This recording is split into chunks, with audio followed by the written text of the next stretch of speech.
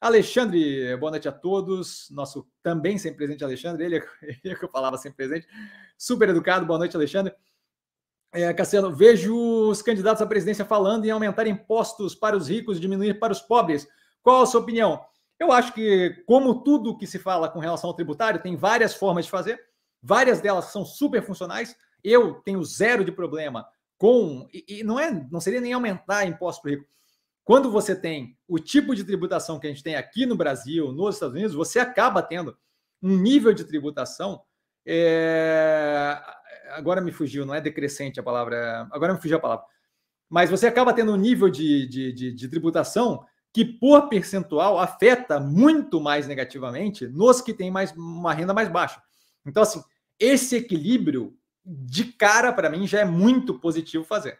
Tá? É, você, você tem um, um pagamento percentual do que você precisa para viver muito maior das faixas mais baixas de renda do que você tem da faixa mais alta.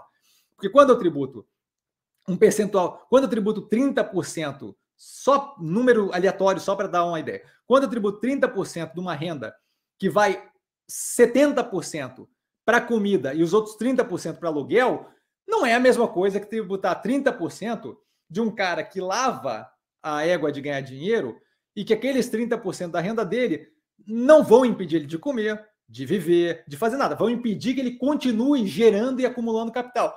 Então, assim, não é propriamente regressiva o nome do imposto. Veio na cabeça. A gente tem uma tributação regressiva no Brasil, nos Estados Unidos também e por aí vai.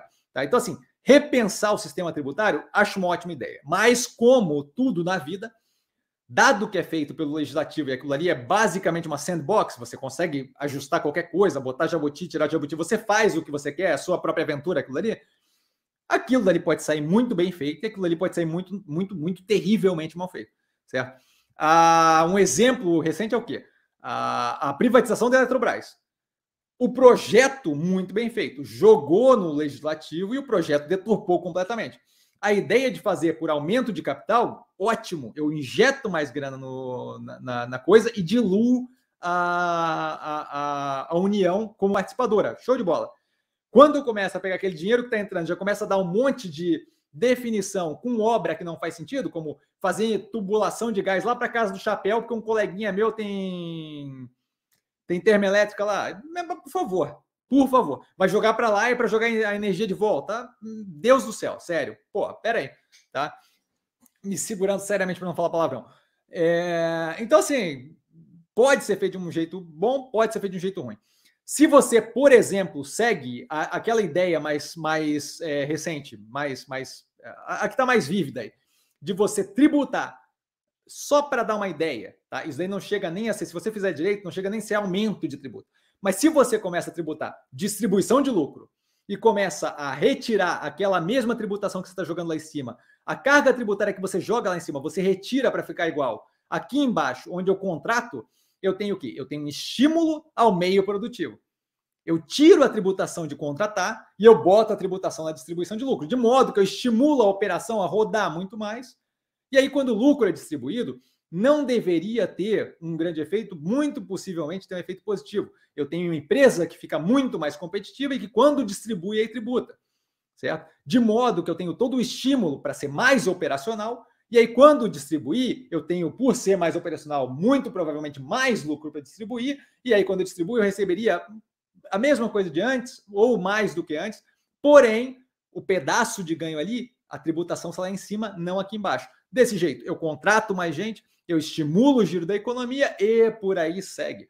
Tributação não é uma coisa trivial. A ideia que se passa quando o político fala de tributação é uma ideia com desconhecimento zero de economia. Tributação não funciona assim. Tributação não é uma coisa que você mexe um pedacinho e nada acontece. Você mexe um pedacinho, você afeta uma cacetada de coisa. É butterfly effect. É, teoria, efeito borboleta, é basicamente aquilo. Você volta no tempo e você belisca alguém e aquilo ali acaba com o planeta no futuro. É a mesma coisa com tributação. Você mexe um negocinho e aquilo ali tem efeitos e efeitos e efeitos que você não consegue é, calcular se você não parar de fato com uma equipe e avaliar aquilo, tá? Por isso que é, esse tipo de coisa pode ser feito de uma forma positiva ou negativa. Eu não vejo problema de fazer é, literalmente é, a vibe Robin Hood de você tributar um pouco mais de forma racional quem tem mais renda para que você tenha uma rede social maior. Caso, por exemplo, de renda mínima garantida. Vários exemplos já funcionando isso, super positivo, desde que seja feito com consciência, com parcimônia e com um time econômico que saiba o que está fazendo. Zero de problema para mim. Não vejo como negativo. Imagino que a galera deve se assustar e que deve chamar de comunista e o caramba, mas assim, tirando, a, a, tirando o bafafá todo inicial, não acho que seria um problema e acho que seria positivo para o país como um todo. A gente tem alguns exemplos sendo, sendo promovidos. É, algum país nórdico, não lembro onde, Califórnia foi feito também, é, na África também foi feita, agora acho que Nigéria, mas vários exemplos, eu acho que até que eu botei no canal tempos atrás, de, de, de renda mínima garantida, dando um resultado, um efeito muito positivo no, na população.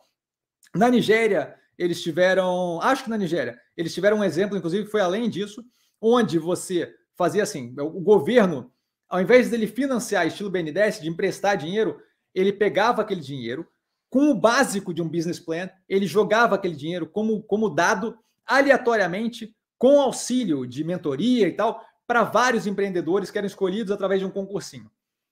Ele dava o dinheiro do governo. E aquilo dali é, foi feito como estudo para justamente entender qual era o efeito de quão mais positivo seria, ao invés de emprestar, eu dar o dinheiro. Será que vai ter aquele efeito de ah, todo mundo vai ficar encostado, ninguém vai trabalhar?